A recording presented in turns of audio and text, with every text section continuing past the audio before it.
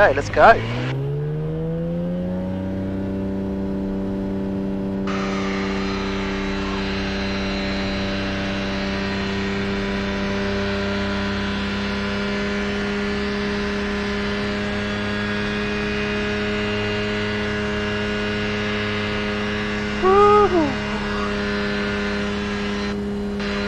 Sporty.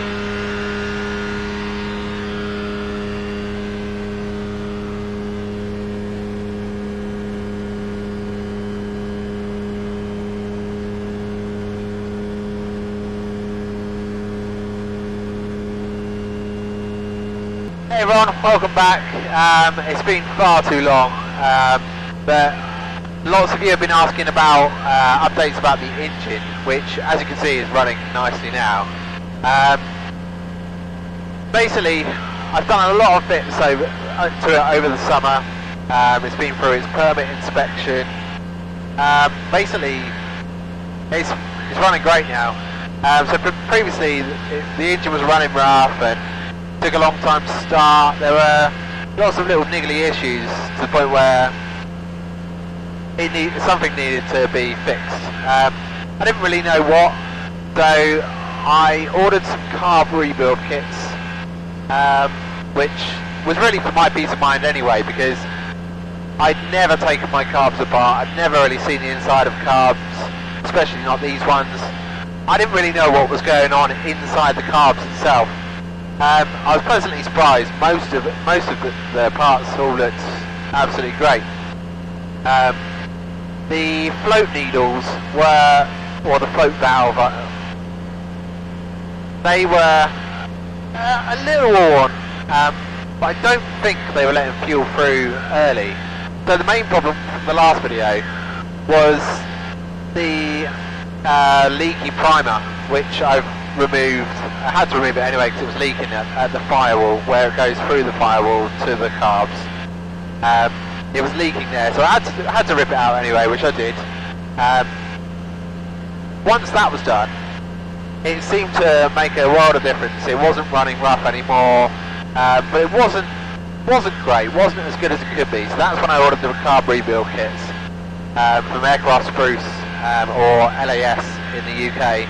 Uh, I'll link to both uh, below, just so if you've got the same problem, you can go and get the carb rebuild kits and uh, basically fix them up. Um, so took the carbs off. Yeah, I basically took them all apart, used a lo- whole load of carb cleaner, cleaned them all out, um, used a, a, a brush just to get rid of any any grime that was on the outside.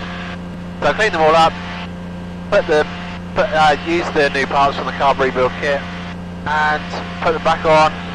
Whilst doing that, I decided to replace the rubber fuel lines. So I've replaced the fuel line from the main tank, which is behind the panel in this plane. Um, one wing tank up there, which I haven't done these rubbers yet, um, which run to the main tank, but I've, I've done the main tank to the carbs, well, via the gas gascolator to the carbs.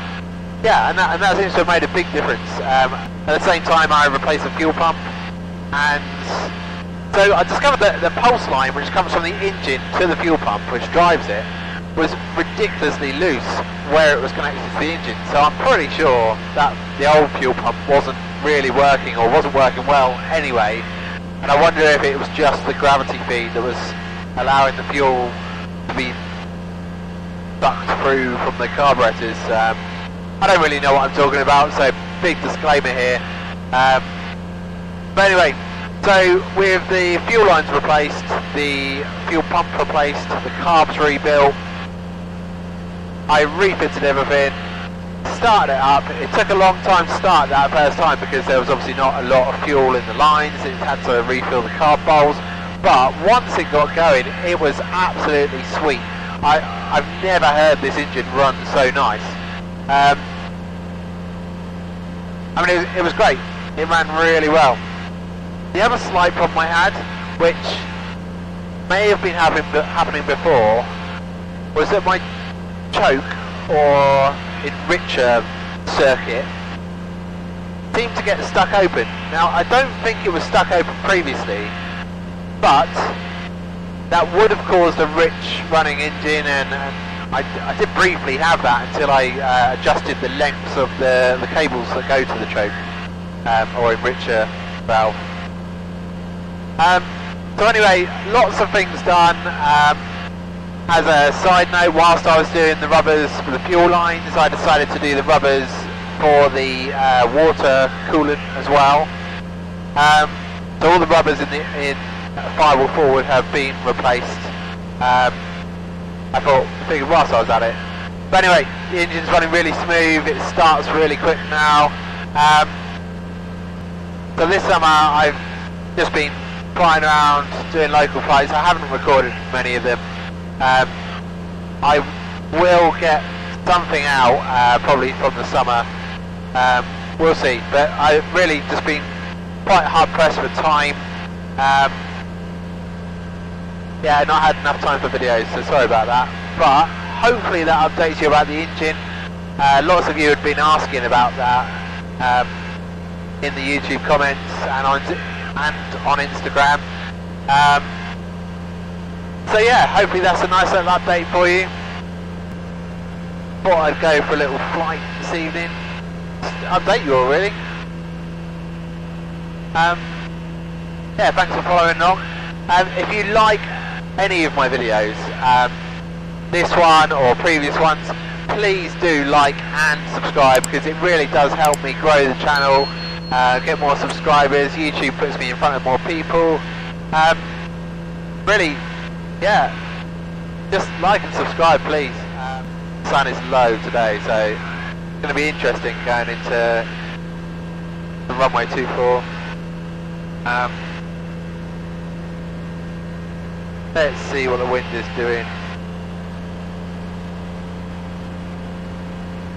So, yeah, still favouring 2-4. So let's head back now.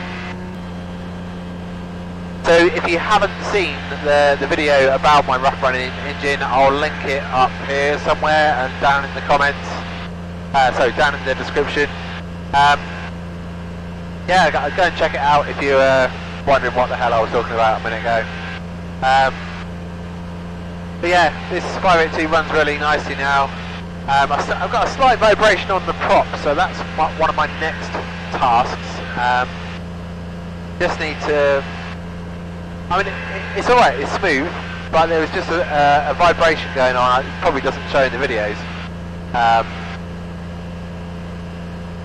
but yeah, we will uh, try and fix that on another one. Perhaps I'll try and film that one whilst I actually try and sort out the vibration.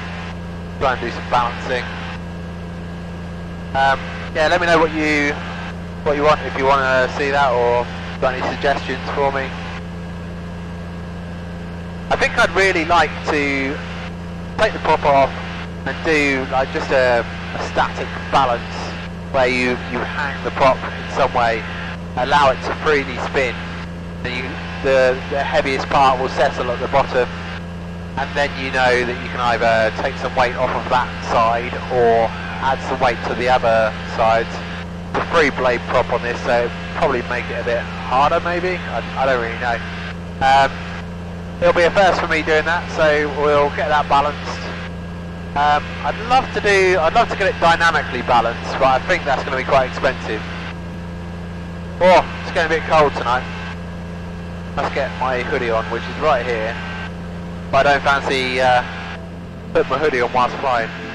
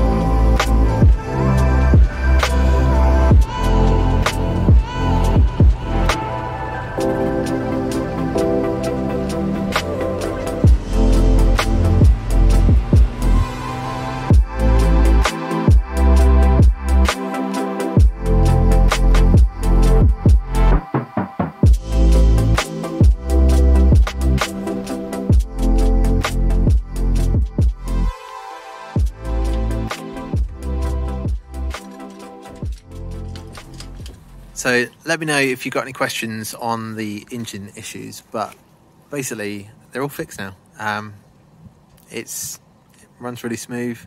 Just need to fix out fix that little prop vibration, um, and we'll be away.